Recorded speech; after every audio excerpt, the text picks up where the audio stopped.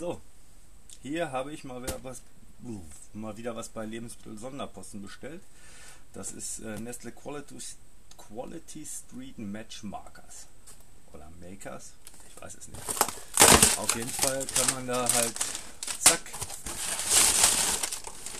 12 Bags, ein paar habe ich schon rausgenascht, weil die so gut sind.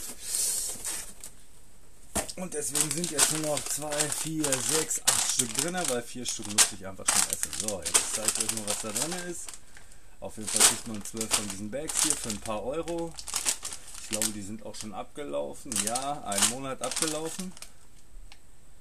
Äh, das sind einfach nur so eine Minzstangen. Schmecken in etwa so wie äh, hm, ja, After Eight halt. After Eight nur, dass die Minze da drin halt nicht flüssig ist, sondern äh. So, dann öffnen wir die Stänkchen mal hier. So sehen die Teile aus. Gut, weil die jetzt abgelaufen sind, sind die schon ein bisschen weiß. Hm. Was aber hm, am Geschmack, denke ich mal, nichts verändert. Die sind wirklich sehr pfefferminzig. Die sind auch, ähm, soweit ich das weiß, nicht für Deutschland hergestellt, eigentlich für, ähm, äh, für das United Kingdom, also für England halt. Oder Großbritannien oder ach was weiß ich. Mhm.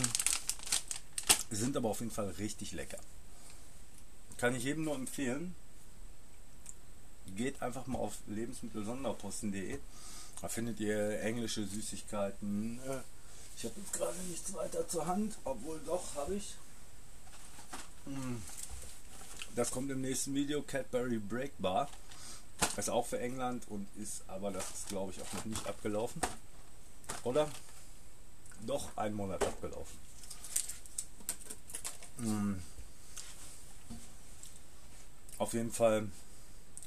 Wo war ich denn jetzt? Da habe ich es vergessen. Verdammt Tags wenn ich meine Videos überarbeiten will, will ich jetzt nochmal neu anfangen, aber ich habe keine Lust. Hm. Wie gesagt, schmeckt in etwa wie After Eight. Oder wie diese äh, Mint Mintstangen, die man überall kaufen kann. Bei Aldi, bei Netto, überall. Hm. Aber kosten halt nur einen Bruchteil. Wie gesagt, 12 Packungen, also über 1,2 Kilo. Hm. 4 Euro, glaube ich. Ich weiß es nicht. Vielleicht waren die auch ein bisschen teurer, aber ist nicht schlimm. Ich werde euch das verlinken. Kann ich jedem nur empfehlen, der auf Pfefferminze steht. Unter dem Video ist der Link. Ich wünsche euch noch einen schönen Tag. Bis dann, dann ciao.